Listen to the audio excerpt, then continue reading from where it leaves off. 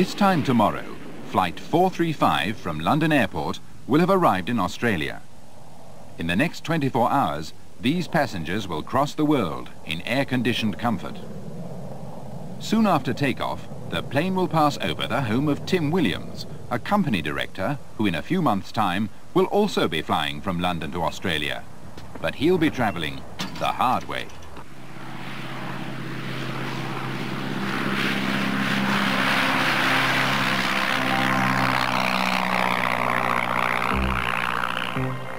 If you're wondering why anyone should want to fly 12,000 miles in a 50-year-old aircraft, here's your answer.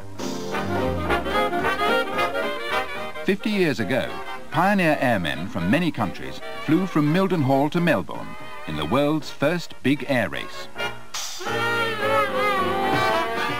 It was a major international event which aroused the interest of kings and princes. Mildenhall Aerodrome, where 20 racing planes are gathered for the Melbourne Air Race, is honoured by a surprise visit from the Prince of Wales, a flying enthusiast of many years' standing. Now, Mildenhall gets a bigger surprise still, with the arrival of the King and Queen. Their Majesties are introduced to the pilots of the big Dutch planes. And they leave the aerodrome after wishing good luck to all the famous men who will leave at dawn. The flag's down, and the greatest air race in history is underway. A few of the aircraft which made history then are still flying. And to commemorate the 50th anniversary of that great race, Tim Williams and his co-pilot Henry Labouchere are going to fly a 1930 de Havilland Pussmoth over the route followed by the race competitors. It's likely to be an eventful journey, but the pilots are very experienced and well prepared. I've always been in, interested in airplanes, and in fact, uh, I learnt to fly when I was at school. I used to go and work in, in the holidays on a farm, and all the money I earned there I used to go and, spend down at my local airfield learning how to fly. When you make plans to fly a historic aircraft 12,000 miles over oceans, jungles, mountains and deserts, your safety is the first thing you think of. The aircraft which will be used for the flight has been completely rebuilt, so now it's as safe as it ever was. It's a very simple little aeroplane, and uh, two of us sitting in here are going to be quite cramped, but uh, especially a bloke like me. We've had to make several modifications to it.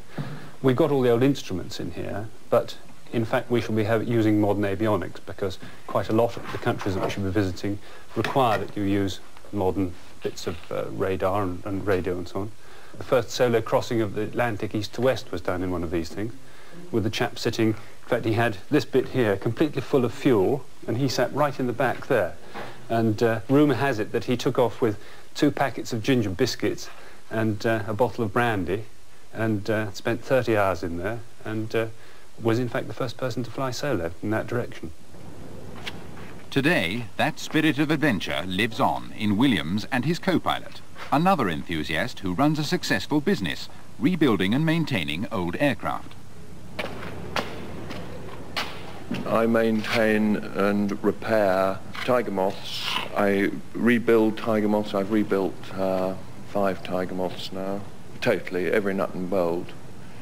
I bought my Tiger Moth in Australia. At one point in its career, it was won for $10 in a raffle. It was then crashed while towing and repaired to a somewhat uh, questionable standard. Then I bought it and I used it all around Australia.